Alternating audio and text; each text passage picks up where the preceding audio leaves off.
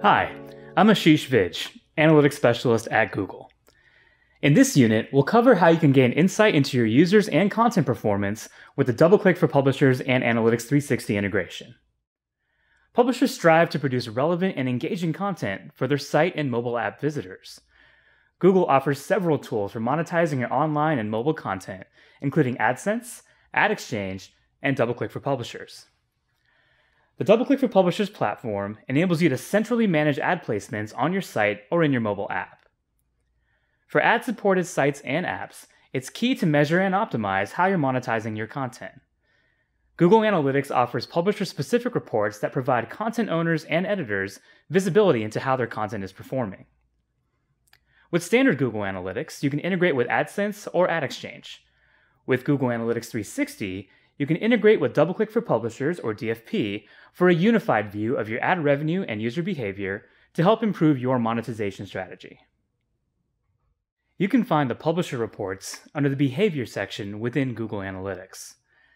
In the Publisher Pages report, notice that page is a primary dimension and is paired with a list of publisher metrics, including publisher impressions, clicks, and click through rate, or CTR. The publisher referrers report is similar to the pages report, with source included as the primary dimension. For a quick reference on each of the metrics in these reports, check out the Analytics Help article linked at the end of this lesson. For now, we'll highlight a couple of particularly actionable metrics. Viewable impressions percentage allows you to assess the percentage of your impressions that were considered viewable within the user's browser. Impressions considered not viewable are those that occur when the page loaded, the ad was below the fold, and the user did not scroll down.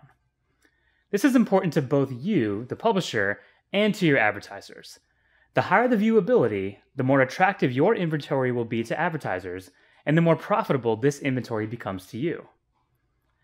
Another particularly useful publisher metric is revenue per 1,000 sessions, which is the total estimated revenue from all linked publisher account ads per 1,000 analytics sessions.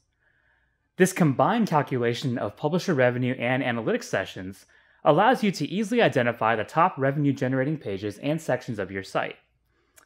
For example, in this Publisher Pages report, page 1 is showing over 864,000 impressions and $474 in revenue, while page 2 has just over 411,000 impressions and only $278 in revenue.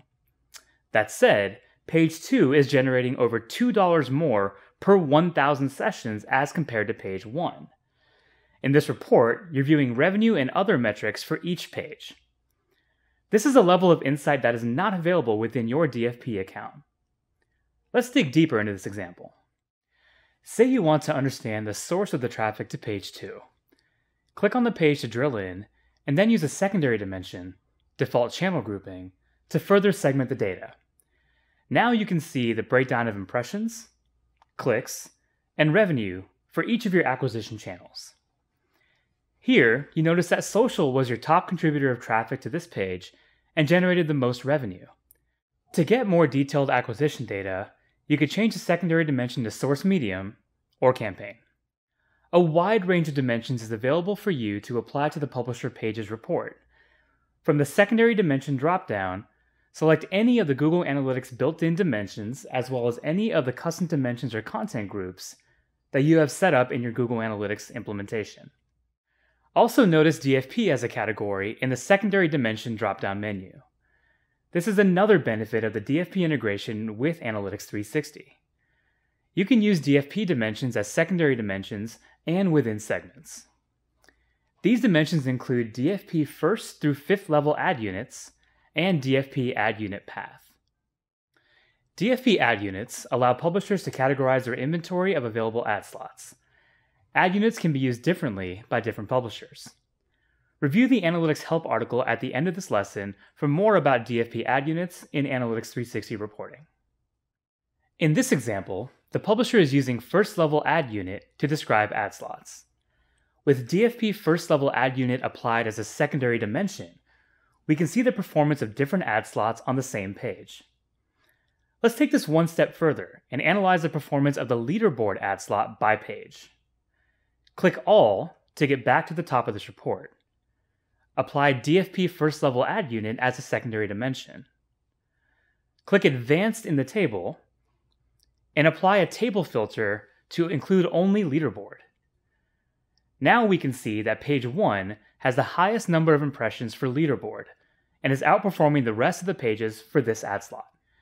This is an example of how you can use the Publisher Pages report to get URL level data and apply secondary dimensions and table filters to get even deeper insights into your content performance. In the next lesson, we'll see how you can further leverage Analytics 360 features to optimize your content and monetization strategy.